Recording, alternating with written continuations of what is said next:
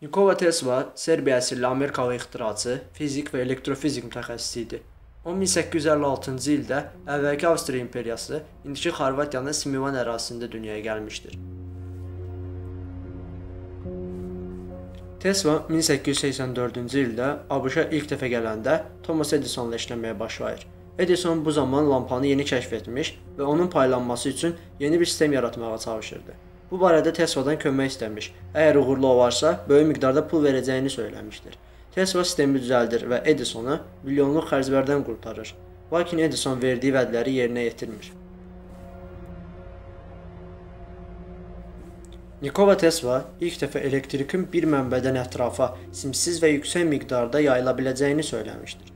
Bir çoxları ona inanmasa da, o sonrakı təcrübələrində bunu sübut etdirmişdir. Tesla'nın xəyalı dünyaya pulsuz enerji paylanılmasını təmin etmək idi.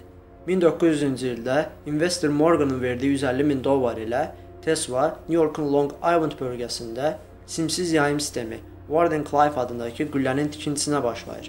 Bu qüllə dünyanın telefon və teleqraf servislərini əlaqələndirəcəkdir. Təəssüf ki, Morgan bunun dünyaya pulsuz enerji paylayacağını bilir və artıq bu işdən əlini çəkir. Əgər o dəstək kəsilməsə, hal-hazırda dünya pulsuz enerji əldə edəcəkdir. Ford ilk motorlu cihazı ilə göstəriş edərkən Tesla onun yanına gedərək bu qədər böyük motora ehtiyac yoxdur deyir. Lakin Ford özünü üstün gördüyü üçün Teslaya qulaq asmır. Bundan sonra Tesla orlama sistemini kəşf edir və bunu Forda göstərmək məcburiyyətində qalır.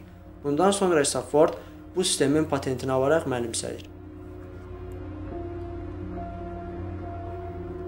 Tesla 1898-ci ildə Madison Square Garden-da dünyaya ilk uzaqdan idarə oluna bilən model qayıqını nümayiş etdirmişdi.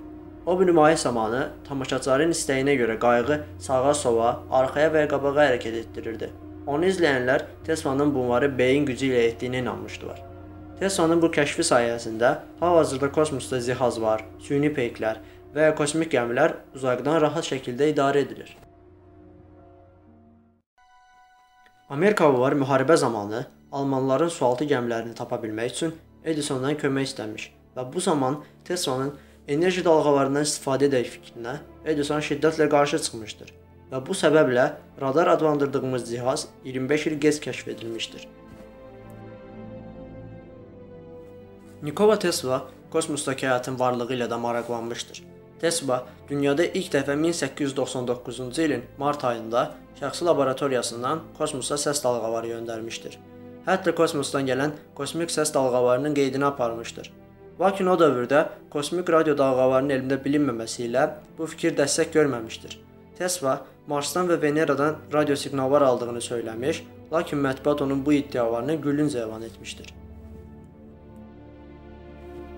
Tesla Marconinin kəşfi kimi qəbul edilən radionun kəşfindən 10 il əvvəl bu haqqda öz fikirlərini söyləmişdi. Yəni onun kəşfi Teslaya aid idi. Lakin indiki dövrdə də buna zidd fikirlər mövcuddur. Bundan başqa, Marconinin radiosu səs ötürə bilmirdi. Sadəcə siqnal yayırdı. Halbuki Tesla illər əvvəl səs ötürməsini də göstərmişdi. Tesla 1943-cü il 7 yanvar tarixində New York otelində ölü tapılır. Onun bütün sənədlərinə ABŞ hökuməti tərəfindən əl qoyulur. Bu sənədlər üzərində işləyərək yeni cihazlar, texnologiyalar yaradılmağa davam edir. Hətta bu cihazlar içərisində ağlasığmaz silahlar da mövcuddur. Şübhəsiz ki, Tesla'nın kəşflərini silaha dönüşdürə biləcək olan ölkə digərlərindən üstün olacaqdır.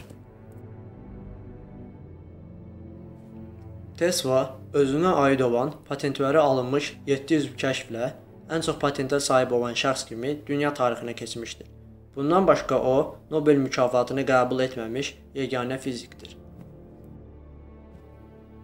Nifrətiniz elektrikə çevrilə bilsəydi, bütün dünya işıqlanardı. Nikola Tesla